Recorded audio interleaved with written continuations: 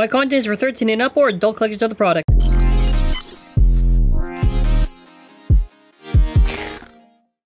You are reading the title correctly. So Hasbro's hand was basically caught in the cookie jar. And it's a video to talk about where I want to say it's a new low, but I feel like every time you talk about Hasbro, they, they just do somehow worse. I absolutely despise Hasbro for what they've done to Burst and how they've pretty much just like done such a disrespect to the beys that they've done for the quality that has been a, such a severe downgrade. So in this, we're gonna get to a very interesting thing where basically Hasbro gets um, fake reviews for the stuff in a way, and they all kind of come out in the same time. And what their tactic tactic basically is, is essentially just to get these reviews, which is obviously manipulated by them, to advertise the products by people who either know nothing about Beyblade or just paid off just to say as, as nice as possible towards them. Because let's be honest now, they're probably not going to get influencers if they're not going to be sucking up to Hasbro, right?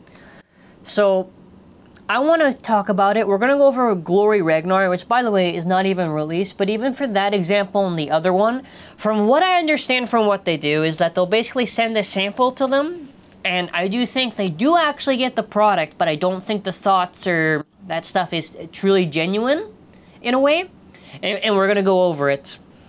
So for Glory Ragnar, great quality. I've received Beyblade's Burst Quad Drive Glory Ragnar starter pack about two weeks ago. My 12-year-old loves it, came in handy and he replaced his missing ones. He thinks it's cooler than his original ones because the spinner is made out of metal, not plastic that can break. Side note, the spinner does not have yeah, the spinner does have to be put together, but it's pretty easy. My 12-year-old uh, did it himself. He had a previous similar set, and it does come with an instruction manual if ever gets stuck. Okay, so the first thing I want to talk about is how you basically just have the most generic thing where like the essence is like, hey, you gotta make sure you mention that assembly was easy and that you put the name of the thing in there. Like, okay, five stars? The other thing too, when they say it, it, it's made of metal, not plastic, especially for Quad Drive, what, what, what are you talking about? The disc? This is plastic, back and front. Plastic, not counting the screws, obviously. Plastic, for the quad drive in specific. I even know what they mean by that. That's why I don't think they do. It's... Brooke, like, okay? Let's go over the next one. Now, this one's three stars, okay? Cool top. A Beyblade is effectively a top. It was a little weird that it had to be assembled and the assembly itself was non-intuitive. After five to seven minutes, I figured it out. My kids gave it a spin a couple of times, but then after they were pretty much done with it. Now, I gotta say that, you wanna know? The thoughts at the end, I think is pretty much the same with everyone.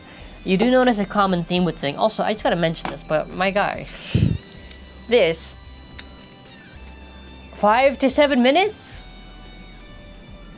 The thing's like, I'm pretty sure the thing is already assembled on the layer and you just... Five to seven minutes? I, I don't, I don't believe that. I, I refuse to believe that. I could maybe, I could maybe give them the benefit and it was trying to switch it into like high mode or something, but whatever. Next one, great addition. This was a great addition to the ones he already had. He loves playing with his friend and he keeps busy for hours. Easy to use once you get the hang of it, but the kids uh, got it faster than I did. He's starting to collect them all. Then after soon, I was trying to still got to get interested in something new, so I picked up the new Beyblade Burst Quad Drive Glory Ragnar starter pack, Beyblade Burst Quad Drive Glory Ragnar R7 start pack. I really enjoyed it for him. It was a little hard, which it came with something the battle in the starter pack. Uh, was a little misleading. I will grab another one to battle with it though. So again, it's like people either I what I understand is it, it's just sent to people who don't know nothing about the beys. Just told here are the key phrases and words you have to say. Put the review and you get like the free product or whatever, right? And it's like it's a dirty tactic what they're doing for the thing because essentially, it's I don't I don't know if scamming is the right word. I think misleading people because when they, if anyone does see these reviews, they're just going to assume it's good or whatever, right? Because anyone who searches the thing, and especially like on the ones like for the Target reviews, even like the, the Walmart stuff or whatever, right? Like, it, it it's not genuine and it's not honest, or it's not even by people who actually know the products or whatever, right? And again, you can tell that this is most certainly all at the same time because it's all a week ago. This was not like it was spaced out, whatever. All the same time. This is all deliberate by them. Now, there's another example which we did find on the Interstellar. Uh, was the, uh, I'm, gonna get the right name for it, uh, or it was the the other stadium set, whatever it was. It was the Collision Nebula. So uh, you'll basically know that all the reviews read the same, same time posted, originally posted on Hasbro all three months ago. This review was collected as part of a promotion. And it's all the same thing. It's the exact same keywords for the thing. It's the exact same phrasing for the thing. It's all the same thing. So it's so hilarious to see how low they have gotten. And it's so funny when you read the PR stance for Quad Drive connect with the community. Yeah, sure. They don't give a single care towards any of the actual bay BeyTubers, anyone of the community, nothing. They do not care. It is a facade, it is an illusion. Do not trust Hasbro Please, do not. I have no respect towards Hasbro. I have no faith towards Hasbro. They disappoint us almost every single time. Maybe even the Pro Series, okay, fine, sure. But even that has a lot of issues. That is something so simple that they, they can overcome, but they choose not to. And it's such an important thing to talk about this because it's enough with defenses towards Hasbro. Hasbro is not like some company that's worth like $10 or something, you know what I mean? Billions of billions, right? They're making the profit. And when they do stuff like this, and when you see the quality of the stuff that they release, it's absolutely disgusting.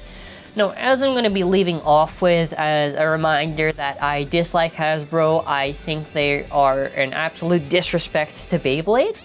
What I do want to mention is I do have a video going really over the issues of the rise and downfall, and I do have other information that I've been saying for a while, which is essentially that once these last two Beys releases, uh, not only will I do the reviews, to try to do a review of the last stuff for this thing, unless they're going to do BU, but I'm also to do a part two to the rise and downfall because one, it's important to highlight any extra stuff and respond. And I'm very excited to do so. So I do hope you enjoyed this video, I guess, kind of talking about it. It's something that's certainly interesting, and it's also something that does not surprise me, and Hasbro, again, continues to disappoint us, right? Anyways, I want to say thank you for watching. Have a wonderful day, and I'll probably advertise the store right now. So on our store, um, again, this is an optional way to support the channel. Um, you can support regardless by liking and subscribing. I will take it either way. But um, for it, what I wanted to go over was we have things like Zest Achilles, Hello Kitty, um, other stuff. It's an optional way, like I said, to support the channel. I do appreciate any support regardless, and at the end we'll play an ad for our store. Hey everyone, we are doing a limited giveaway for our customers who pre-ordered uh, the Hello Kitty on our shop, and the ones who still want to pre-order, make sure to listen. So you automatically get in with your purchase of Kitty, and what we're giving, you can win with your purchase of one, or at least one, some got multiple. If you win, you can get one Hello Kitty, that includes the shipping along with the plushie. And you get a plushie of Hello Kitty that is legit authentic from Japan. So for the people who purchase, you're automatically entered into the thing, and for the people who want to get into it, so long as you pre-order before September 10th, which is the draw date, you have a chance. So best of luck to everyone. It's an authentic plushie of Hello Kitty. It's really nice, a good opportunity we want to give back to our, uh, our support from our customers.